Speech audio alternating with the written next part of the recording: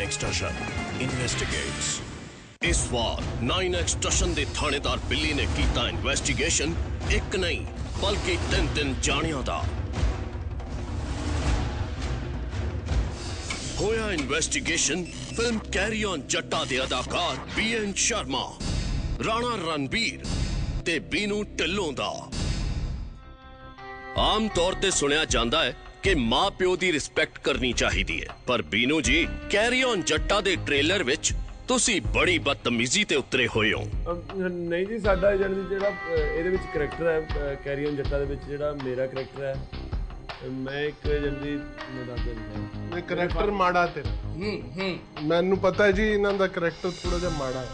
ਦੇਖੋ ਜੀ ਮਾਂ-ਬਾਪ ਦੀ ਰਿਸਪੈਕਟ ਨਹੀਂ ਕਰਨੀ ਆ ਫਿਲਮ ਦੇ ਵਿੱਚ। ਮਤਲਬ ਆਪਣੇ ਪਿਓ ਦੇ ਬਰਾਬਰ ਬੋਲਦੇ ਜੀ ਗੱਲ ਗਲਤ। ਮੇਰੇ ਪਿਓ ਨੇ ਕੰਮ ਹੀ ਇਹੋ ਜਿਹੀ ਕੀਤੀ ਹੈ ਜੀ ਫਿਲਮ ਦੇ ਵਿੱਚ ਹੁਣ ਉਹ ਰਿਸਪੈਕਟ ਮੇਰੇ ਖਿਆਲ ਜੇ ਤੁਸੀਂ ਬਾਹਰ ਆ ਕੇ ਫਿਲਮ ਦੇਖ ਕੇ ਜਦੋਂ ਬਾਹਰ ਆਓਗੇ ਰਿਸਪੈਕਟ ਤੁਸੀਂ ਵੀ ਨਹੀਂ ਕਰਨੀ ਜਿਹੜਾ ਭੁਲੇਖਾ ਮੈਨੂੰ ਪਿਆ ਹੈ ਨਾ ਫਿਲਮ ਦੇ ਵਿੱਚ ਮੇਰੇ ਪਿਓ ਬਾਰੇ। ਜੀ ਰਾਮ ਭਾਈ ਲੈ ਚੱਲ ਸੀਰੀਅਸ ਮੰਨ ਅਹ ਮੈਂ ਤਾਂ ਦੇਖੋ ਜੀ ਆਪਣੇ ਪਿਓ ਦੀ ਬਹੁਤ ਰਿਸਪੈਕਟ ਕੀਤੀ ਹੈ ਮੈਂ ਤਾਂ ਫਿਲਮ ਦੇ ਵਿੱਚ ਆਪਣੇ ਪਿਓ ਨੂੰ ਸ਼ਰਮ ਕਿਹਾ ਵੀ ਕੋਈ ਨਾ ਘਰੇ ਖੇਡ ਦੇਖ।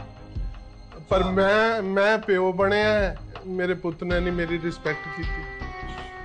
ਬੀਐਨ ਸ਼ਰਮਾ ਜੀ ਇਹ ਮਾੜੀ ਹਮੇਸ਼ਾ ਤੁਹਾਡੇ ਨਾਲ ਹੀ ਕਿਉਂ ਹੁੰਦੀ ਹੈ?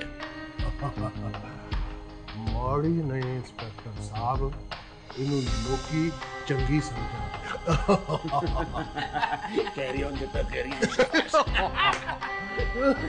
ਨਾਲੇ ਨਾ ਤੁਸੀਂ ਇਹ ਵਰਦੀ ਜੀ ਪਾ ਕੇ ਰੋਹ ਮਾਰਦੇ ਫਿਰਦੇ ਨਾ ਸ਼ਰਮਾ ਜੀ ਨੇ ਤੁਹਾਡੇ ਵਾਲੀ ਵਰਦੀ ਚੱਕ ਕੇ ਆਹ ਮੇਰਾ ਮਤਲਬ ਤੁਹਾਡੇ ਵਾਲੀ ਵਰਦੀ ਪਾ ਕੇ ਰੋਹ ਪਾਇਆ ਉਹਦੇ ਵਿੱਚ ਤੁਸੀਂ ਤੁਹਾਡੇ ਕੁਲੀਗ ਨੇ ਥੋੜਾ ਇੱਜ਼ਤ ਨਾਲ ਰਿਸਪੈਕਟ ਨਾਲ। ਸ਼ਰਮਾ ਜੀ ਫਿਲਮ ਵਿੱਚ ਇੰਸਪੈਕਟਰ ਬਣੇ ਹੈ ਹਾਂਜੀ। ਯੈਸ ਤੁਹਾਡੇ ਬਰਾਬਰ ਇੰਸਪੈਕਟਰ ਬਰਾਬਰੀ ਮੇਰੇ ਨਾਲ ਇੰਸਪੈਕਟਰ ਬਿੱਲੀ ਦੇ ਨਾਲ। ਅਹ, ਨਹੀਂ ਬ- ਬ- ਦੇਖੋ ਜੀ ਤੁਸੀਂ ਆਪਣੀ ਥਾਂ ਇੰਸਪੈਕਟਰ ਹੋ ਮੈਂ ਆਪਣੀ ਥਾਂ ਇੰਸਪੈਕਟਰ ਮੈਂ ਤੁਹਾਨੂੰ ਕੁਝ ਕਿਹਾ ਹੈ? ਸ਼ਰਮਾ ਜੀ ਚਾਰ ਪੈਸੇ ਲੈ ਕੇ ਫਿਲਮ 'ਚ ਰੋਲ ਕਰਕੇ ਕੋਈ ਇੰਸਪੈਕਟਰ ਨਹੀਂ ਬਣ ਜਾਂਦਾ। ਤੇ ਅਹ, ਕੋਈ ਪੂਛ ਲਾ ਕੇ ਵੀ ਇੰਸਪੈਕਟਰ ਨਹੀਂ ਬਣ ਜਾਂਦਾ।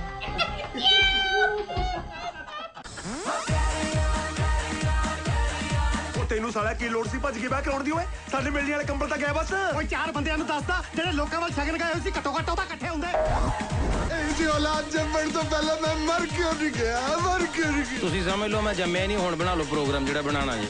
9 Extortion